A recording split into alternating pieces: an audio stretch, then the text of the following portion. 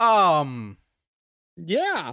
this next story, I have so many questions. It's like uh, Trixie from um, Toy Story 3.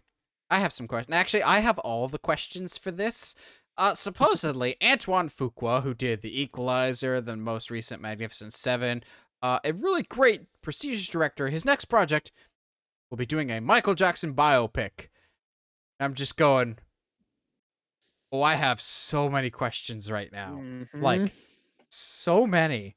Like say what you want about the man himself but uh he was quite controversial with um there were some things that whether you believe he did them or whether you didn't or think he didn't you're gonna piss off half the people that might see this movie either way.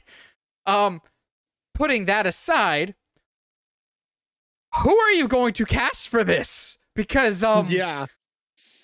Michael had quite drastic appearance changes over time. So, like, if I'm an actor, cool. But this is a project that I'm going to stay way away from just because of, it's a hefty project to say the least. It's, uh-huh. Yeah. I, I and to say that they, they're going to be shooting soon is is crazy too because that means that the script is done, all everything else is done, whatever. But like, like you said, like there's a lot of mm, uh, details about Michael's life that is is are very. How do you say this in a kind way? There's not going to be a lot of ways that you can skirt this under the rug. Um, you're going to have to deal with a lot of the really big very public um issues that that you know kind of he had to deal with whether you believe that they happened or not uh th- it's going to be very interesting to see how sanitized this is going to end up being And here, here's the Um, problem.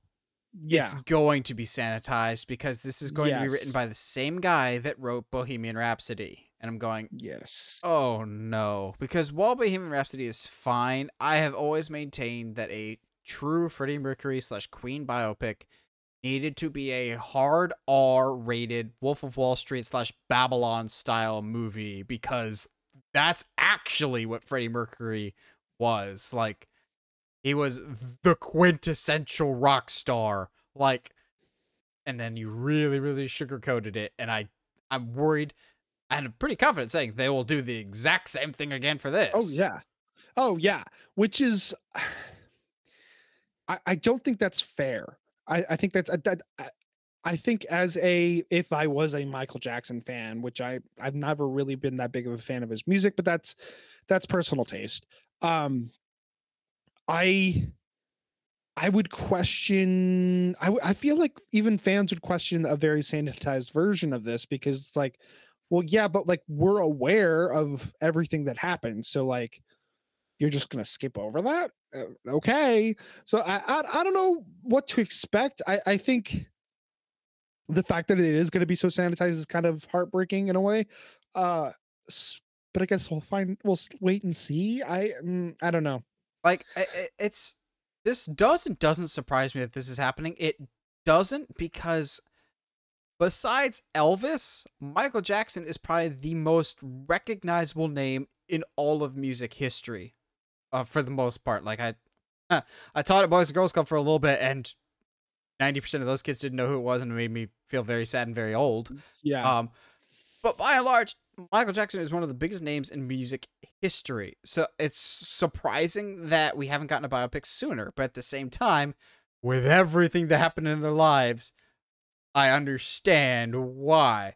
Um, yeah if I if I had to make a biopic about Michael Jackson, first of all, I don't know if I'd be up to the task, but I would hone it in more on the early days than the tail end things of don't make it a Michael Jackson movie, make it a Jackson 5 movie back when they were kids and they had to deal with a very abusive father figure who more or less like force them to churn out the music and whatnot. Like I think that's more a story to go with and might be easier to cast because again, who are you going to cast with this movie? Because Michael Jackson notoriously does his start point and his end point look very, very different.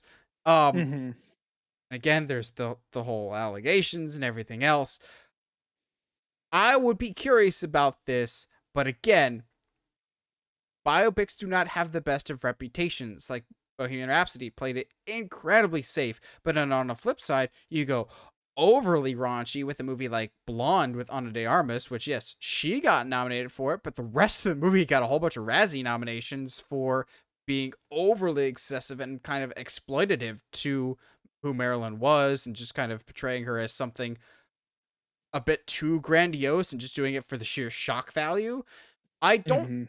think Antoine Fuqua would do something like that. I like I said, I really like him as a director. I like Equalizer. Um I believe he also did Training Day. Um like Magnificent Seven. I like his movies. I think he's a really talented director. This is just a really uncomfortable and difficult task for anybody to pull off, and it just feels like an unnecessarily difficult project, if that makes sense. Yeah, it, it- I have a feeling this is gonna be closer to uh, the Dirt than um, Bohemian Rhapsody. Um, for those that don't know, but the Dirt was that uh, the um, Motley Crue biopic.